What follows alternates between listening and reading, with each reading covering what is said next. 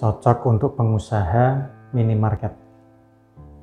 Review keris pamengkang jaket.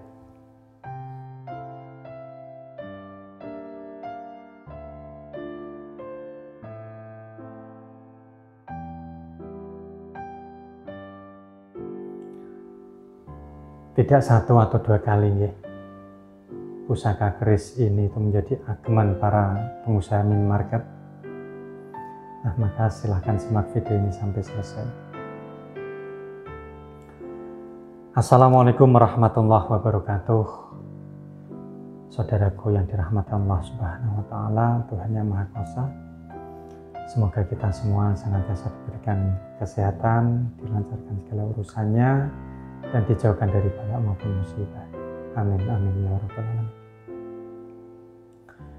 Ya awal mulanya itu adalah ketika ada salah satu klien saya sebut saja namanya itu Bu Santi. Beliau itu memahar mustika pelarisan khusus dengan target omset itu 3 miliar atau level 30 dan saat itu beliau saya bonusi sebuah keris yaitu keris pamangkang jagat. Nah oleh Bu Santi ini mustikanya itu ditaruh di satu minimarket ya dan kerisnya itu ditaruh di minimarket yang lainnya. Nah niat Bu Santi ini tuh menaruh keris di minimarket yang lainnya ini sekedar untuk sebagai pagar goib ya agar tidak terkena serangan santet usaha. Nah tapi menurut penuturan Bu Santi ini minimarket yang diberi keris ini tuh omsetnya mengalami lonjakan yang cukup signifikan. Alhamdulillah. Nah, semenjak itu saya tidak satu atau dua kali saja ya menyarankan untuk klien saya yang memiliki usaha minimarket ya supaya menggunakan kris ini untuk ageman. Nah, kris yang saya maksudkan itu adalah pusaka kris pamengkang jagat. Nah, seperti ini bentuk fisiknya saudaraku. Bismillahirrahmanirrahim.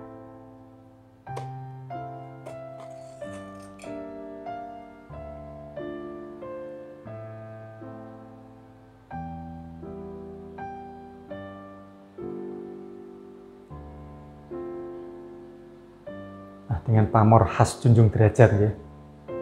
Ya di tengah itu ada sedikit lubang yang oleh sebagian orang itu menyebutnya dengan keris combong Junjung Derajat. Ya karena lubang ini. Oke. Enak dipandang ya, bagus. Ya oleh sebagian orang itu malah dijadikan sebagai koleksi atau pajangan ya daripada uh, manfaatnya sebagai agama.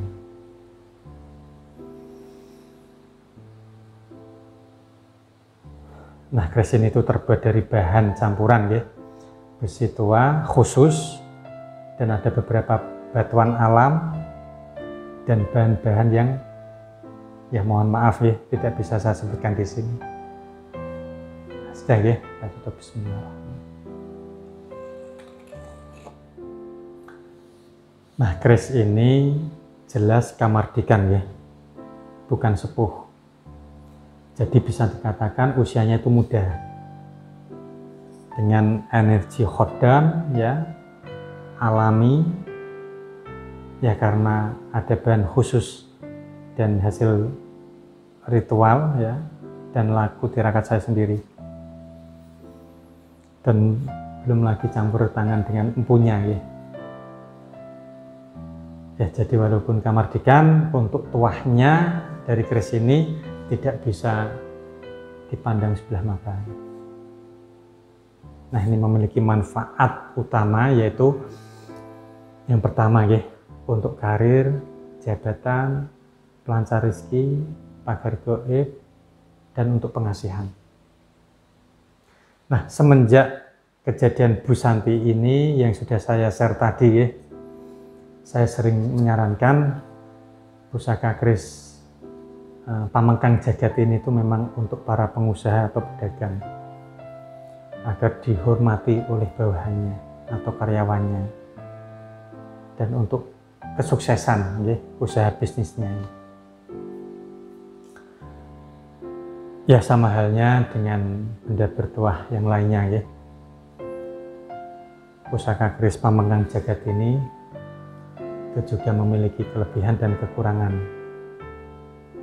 Nah untuk kekurangannya sendiri itu ada dua ya, yang menurut saya ya. Yang pertama itu adalah untuk jenis sepuh itu hampir tidak ada, jadi kamardikan semua Nah, sedangkan untuk kekurangan yang kedua itu adalah memerlukan perawatan khusus.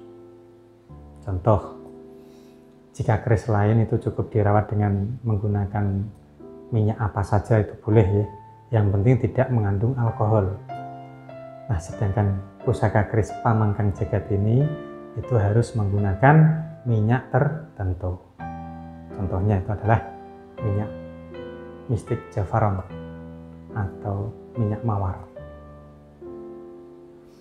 Nah, sedangkan untuk kelebihannya menurut saya jika dibandingkan dengan keris yang lainnya itu ada dua juga. Yang pertama itu adalah keindahan. Nah, ini mutlak selera saya dan saya suka keris dengan pamor junjung derajat ini. Dan di tengahnya itu ada lubang ya. Ada lubangnya. Dan untuk kelebihan yang kedua itu adalah bisa digunakan untuk pelarisan usaha seperti kasus Bu Santi tadi. Nah untuk yang terakhir, berapa mahar keris pamangkang jagat ini bah?